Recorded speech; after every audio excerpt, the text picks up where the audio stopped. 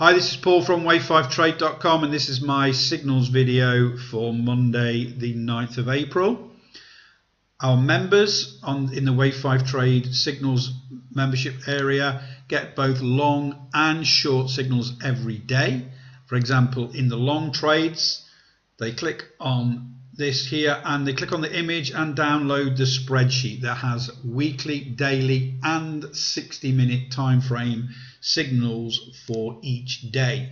I've chosen potential long trades on the daily time frame today. I'm going to look at that on one of the charts and set it up. So let's have a look at the chart. I've gone for SRPT, Sarepta Therapeutics. So let's have a look at the chart.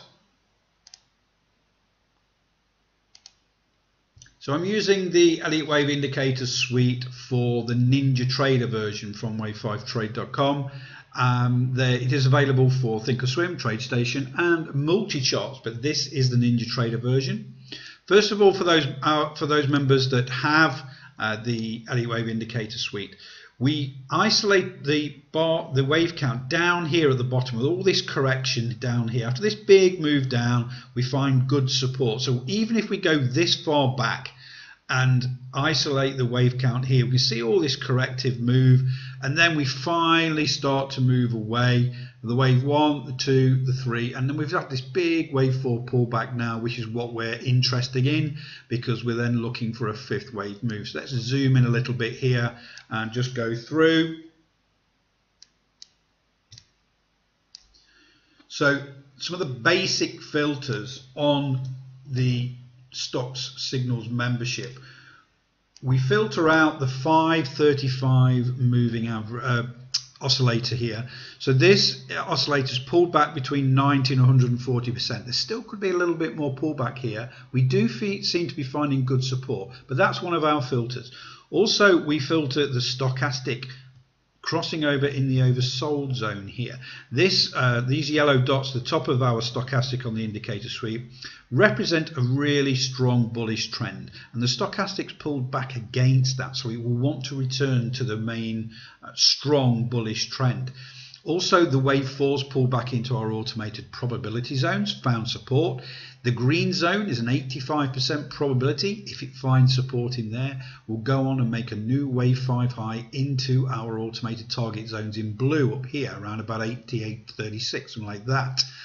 So with that in mind, we've got to look for an entry strategy. One thing that we employ on our Elliott Wave Indicator Suite is the 6-4 moving average high, the green here. This is a conservative entry. So we're way way outside of this for Monday's bar position, but also outside of this range which seems to have formed at the support level there for the wave 4. So what we're after is to make sure that that support level is held and we are starting to move away from that. So we then look for the long entry at 77.09. The stop loss is just below the wave 4 low there, about 70.48 and then we're looking for a target around about $88 right into our target zone there. And that's a risk to reward of 1 to 1.6 and we usually like to see that as the minimum uh, into target zone. Sometimes we get 2 two and a half percent but in this case it's around about our minimum which is good. So everything works out well. We've got the 535 oscillator pulling back. That's part of our indicator suite. We've got the stochastic crossing over in the oversold zone and wanting to return back to the bullish trend. We've got the wave 4 pulling back into the automated probability zones and we've got a great risk reward with a conservative entry. So everything stacks up. So we've gone from our membership site with the signals daily, we're using our Elliott Wave Indicator Suite. This is the Ninja Trader version. Uh, and then we uh, set up the trades and put the orders on. So that's it for today. Have a great trading day and I'll speak to you all tomorrow.